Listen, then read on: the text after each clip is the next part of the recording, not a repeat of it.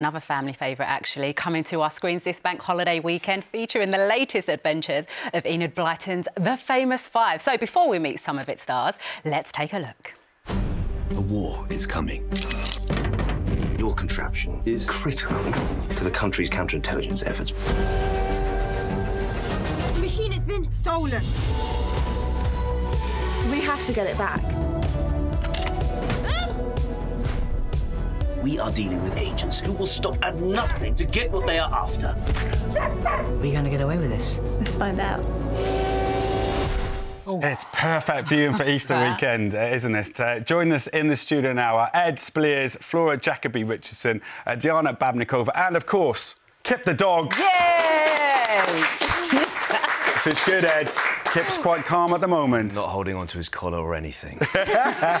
He's been so well behaved. He's been brilliant. Ed, uh, we know you from Downton Abbey. Uh, of course, you've got the, the hit Netflix rom com with Lindsay Lohan out at the moment. It's called uh, Irish Wish. And then you've got the famous Five, a train journey full of adventure. Why did you want to join the train of uh, the famous Five? I think for me it was it was the chance to to tell an adventure story. Uh, I think to sort of reimagine something that's been so uh, embedded in our culture for so long, but then to push it forward into this into a, into a new world and to share it with a new audience and to team up with this lovely lot. Uh, and you know the likes of Nicolas Winding Refn behind it, like pushing, you know, really trying to push the boundaries of how we worked it. And also for me personally, I have a young family. I can finally do something that my children can sit down and watch with me. well, Diana, actually, talking about the different characters, you play George, who's at the heart of the action. What's she like? Um, well, she's very adventurous and she's a bit of a rebel. She likes to break um, rules here and there. But I think um, in this episode, especially, she's like very sassy. Oh. So I think you get to see that a little bit more in this episode. Nice. Yeah, she, she kind of causes. I'm going to say some of the trouble, but then sometimes you think, is it good trouble with what happens in the end? Which I, I know think you it's can't- good. Yeah, you're all there, it's yeah. that sass. Yeah. causing chaos from the very uh, beginning. Um, so, Kip, in, in the books, uh, the dog is described as not being perfectly be- behaved. Yeah. Wh- what was it like working closely? Oh with- no, he's actually a joy. I mean, in episode one, um, we weren't very close, so like they'd have to put like peanut butter or like banana or something on my face to get him to lick my face. But in episode two, there's a scene where like he can't stop licking my face, and they actually kept it in, and it's so cute. Is it in there? Yeah. That's giving me some ideas. That. We'll Kip over to you now. Uh, so, as I say, it's, a, it's an adventure on a train. A lot of the film, episode two, is, is on a train, uh, isn't it? What was that like to film? It couldn't have been easy. It it was a very small train, like, and it looks like it's a very long train on a thing, but it was only about three carriages, I think. So there was a carriage which was the dining room, and there was a carriage which. And then there was three carriages which were bedrooms. But when we did loads, like loads of takes of us just running up and down the same thing, and it was wobbly. Like there was people, like backstage, like pushing on these metal things No to make the train go like this. so we kept kept on like bumping into the walls and stuff. Train oh. surfing's not easy, is it? You know when you get When you're trying to enormous, you walk go, yeah, through, the coffee, that. the tea. You fall on someone's lap, don't you? Usually, yeah. Ed, you play a teacher who's also a secret agent, and actually, there's a lovely moment where you channel your inner Bond. Wait for this line in this action movie part. Here it's coming. Can't get the staff these days. Very Classy. smooth, Ed. Have you always wanted to play a secret agent? 100%. I mean, I grew up on, you know, my, my old man showed me James Bond films when I was a, a young kid. So, yeah, any, any espionage has always been a big passion for me. And to step into the sort of period world to do it, yeah, I mean, that would, yeah, that is, it's a dream role for me, 100%. One of my favourite scenes uh, in uh, the episode is where you're getting absolutely hammered by these guys. They, they gunge you, there's syrup involved, like there's feathers. Uh, as Mr. Roland at that point, they think you're the guy that's up to no good. I won't reveal too much after that. So they're being pretty mean to you there. Were they like um, off camera? Were they nicer to you? Well, as you can see, they're horrible.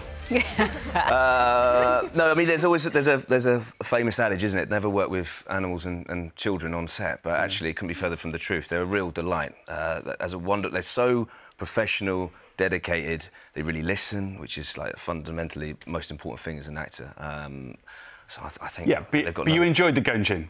Surely. Yeah, 100%. Yeah, 100%. It's great to meet you. Good luck with it as well. It's absolutely brilliant. Uh, the famous five, Peril on the Night Train, will be pulling into the station on Easter Monday, at 2 p.m. BBC One, and is available on iPlayer now. Okay, it's time now to talk music with a performer described as one of the most iconic R&B singers of the 90s. With hits such as Dreams and Out of Reach, it is, of course, the fantastic Gabrielle. What an absolute pleasure to see you on the So One mine. Show. Uh, we're going to chat uh, new, exciting music very shortly, but it'd be nice, wouldn't it, to remind ourselves of your magnificent voice. Dreams can come true. Look at me, babe, I'm with you. You know you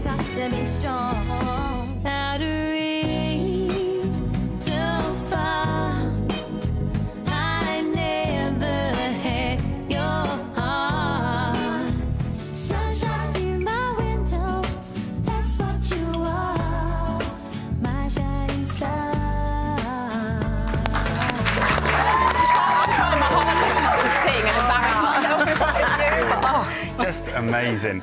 Um, it's been a bit of a, a gap since then, hasn't it? It's been family first and Family first, in that's a different kind of phase with your music life. Yeah, I think much to the annoyance of my record company, I dip after having children. Every chance I took, uh, you know, to be with them, and now they're all grown up, and one has made me a grandma. He's actually one today. yes, it's his birthday Happy today. birthday. Cruz, yes. Well, you are most definitely back with a bang. There's a new album. Yes. A Place in Your Heart That's right. is already out on Right. there. I actually remember you performed on the piano rooms. That was amazing. Radio 2 is great, Yes. wasn't it? What's the idea behind it? Right, A Place in Your Heart. Um, it was a song I wrote about falling in love with someone who's ready to let you know that they want to be with you and they're here for you. They're just giving you that time. Okay, so it's, the song itself and the album itself is a collection of songs that it, I'm not just. People say Gabrielle R&B. No, Out of Reach is not R&B. Um, Dreams is not R&B. I'm a plethora of different music. I was, I was an 80s pop tart. I love the 70s stuff, and so that's what my music is. And so I just love the fact that I get to do new music. Like I said, um, my album's out. Uh, it's going to be out in May the. May the 10th. 10th, yeah. Sorry, I'm, got and then you, the song's worry. out I've read the already. I need some help. and um, yeah, just love it and just been having fun with new music, and I love that. And the new one is Sorry. Yes, Let's have a listen that's to right. this one.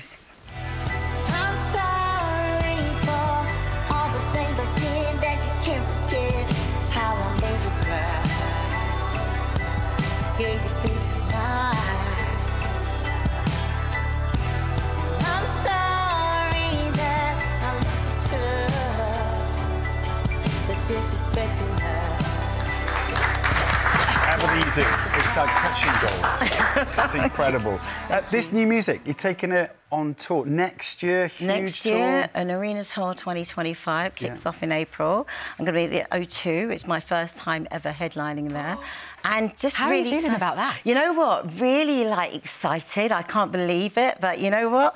It's it will be 32 years by the time I go on the road then. So I'm like, I'm just looking forward to it. Can't wait. Mm-hmm. What does a Gabrielle audience look like these days? You know something? My audience are incredible. There's all age ranges. I'm talking about the whole entire family. I'm talking about your, your grandparents, you know, the kids they had, and the little ones. I've got like tiny tots coming as well. So, you know, that's from the Masked Singer. So it's just an assortment, and I love it. Yeah, your, your music is the soundtrack to lots of people's lives as well. Uh, Just lots of messages coming in here. One here from Emma saying, "Can you please thank Gabrielle for her song "Don't Need the Sun to Shine"? My husband played me her album when we first got together and said uh, it's his song to me. We still put it on now and have a dance uh, with it and being together for 21 years. Amazing. Happens a lot, Yeah. right? It does happen a lot, and I love every moment. That every time somebody reaches out and, and tells me how much my music meant to them, it means that I don't feel like I'm doing a job. It just feels like my life is complete. Like I, I've made music because I was in love with music from the from the get go, but. N- Writing songs that other people kind of take and run with it and say, "This is my life." And uh, what can I say? If you, if I've written something and it's touched your heart, and you know, I'm still going because of that. So thank everybody who's just been there, listening to my music. Thank you for your music. Yeah, well, absolutely Gabrielle, I saw you at Hyde Park a couple of years ago, and it was incredible. Uh, Gabrielle's album. next time, please. no, we've had our moments here on the sofa. I'm sorry. You've got a place in your heart. Gabrielle's album, A Place in Your Heart, is out on the 10th 10th of May, and Gabrielle will be touring the UK next year. 10th of May, got it? Uh, definitely. Shame. It's time to meet four people who will have the nation glued to their TV sets tomorrow. It's the stars of Gladiators. Go on. I've always wanted to say this. Oh, there's a mic here, so ready? Contenders, ready? Gladiators, ready! Please welcome Fire, Fury, Bronte, and Mary Louise.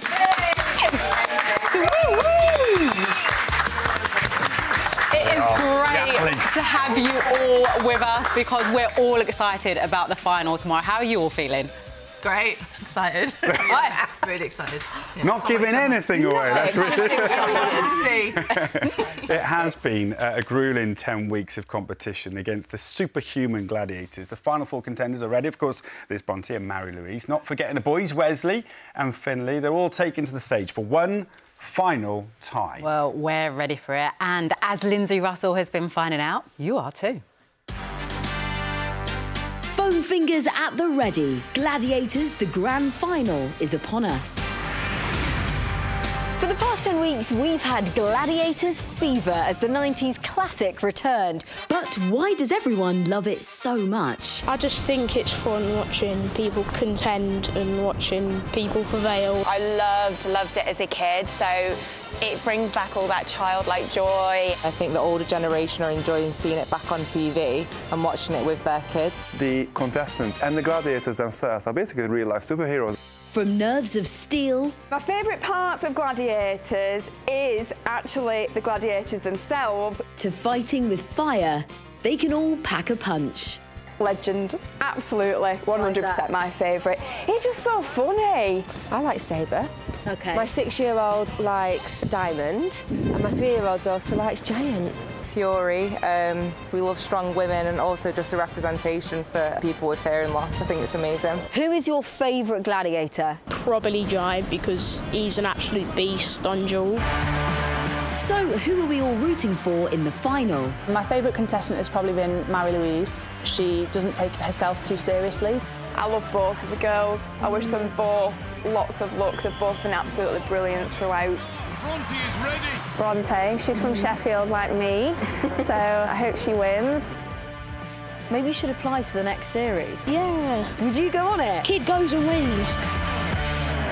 I'd How back him. cute is that? You'd have a go, wouldn't he? Well, I mean, that's put me right in the mood for the final tomorrow. Fury, actually, having you here on the sofa, I feel like it's a full circle moment because what last year you and Steel were announced as the first two gladiators here on the show. What's it been like your first series as a gladiator? It's been mental. Wild is how I can describe it, but it's just been amazing, just a response from especially kids. Like, it's just been so positive, and like families being able to watch like TV again on Saturday nights, that's what it's all about. So it's Family been pretty special, yeah. You've been amazing. You've been fierce, actually. In fact, the gladiators, they, they, they are superhuman. The, the sporting background is incredible. I mean, you're a perfect example of that, aren't you, Fire? Uh, first um, in history, as the first British female sportsperson to take part in both the Summer and Winter Olympics as a sprinter and bobsledder. Amazing. You're obviously an amazing athlete.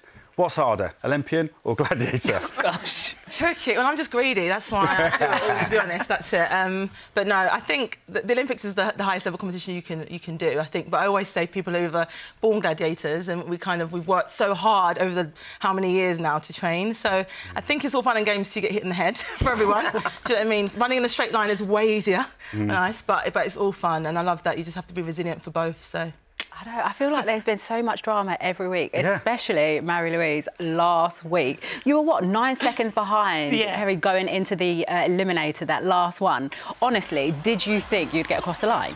No, it was it was the it was the shock of the series. Terry's legs are gone. Oh. Even I was like, oh, I'm just going to enjoy this. The last time I'll ever be doing this course again. Yeah. Um, and next minute, I was like, come on, girl, come on, you got it, you got it. Almost cheering her on, and uh, Did your yeah, heart it was start the beating biggest faster shock. when you saw her come down the, uh, li- the travelator? I thought, oh, I'm going down as well. Here we go again. it's going to be a repeat of the first episode. Yeah. I'm going down about 10 times.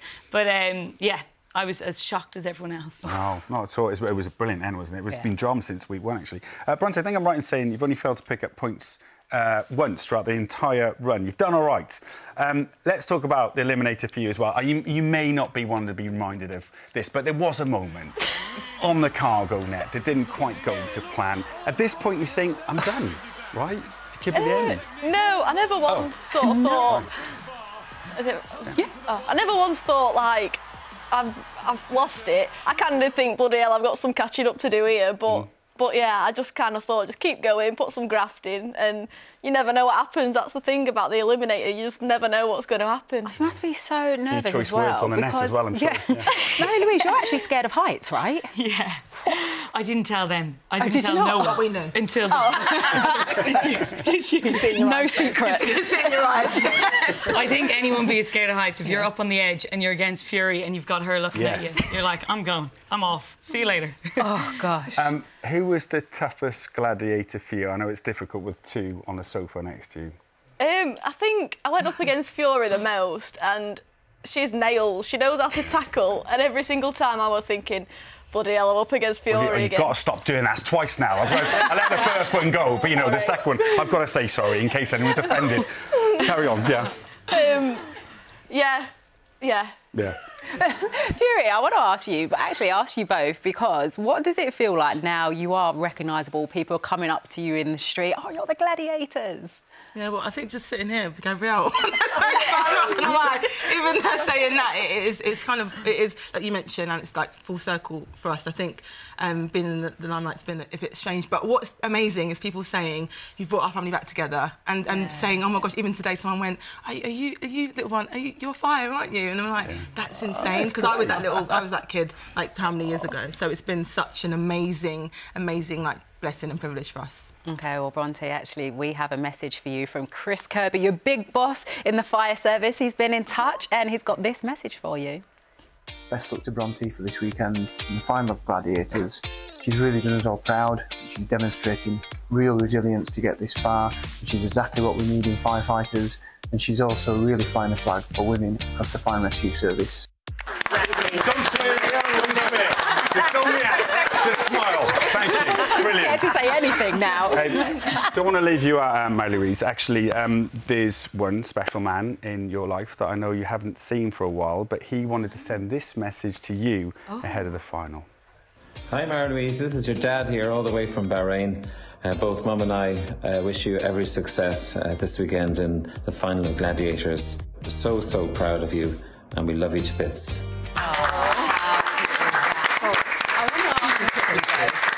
It mean to win?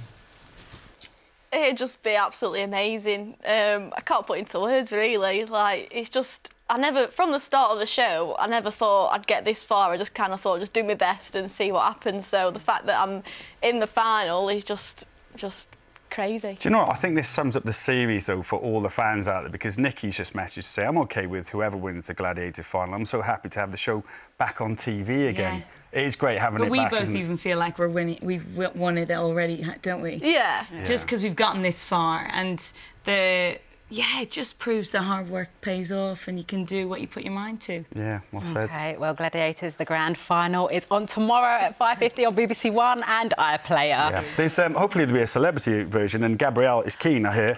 Um, Gabrielle, I've got, um, you know, we're talking about people, this soundtrack to people's lives here. Uh, Tom has messaged to say, Gabrielle made my childhood. I turned 40 on Wednesday. Uh, I made a playlist to remember the 1990s. Gabrielle features a lot. So many Wow. happy memories. Thank you. you. It's lovely to see you. Thank you, Gabrielle. Yeah, thank you so much for coming on, all of you. Thank you to all our guests tonight. Yes, Alex Jones and Roman will be back on Tuesday, and I'll see you on Morning Live when it returns a week on Monday at 9:30 BBC One. In the meantime, have a lovely Easter. Have a lovely one.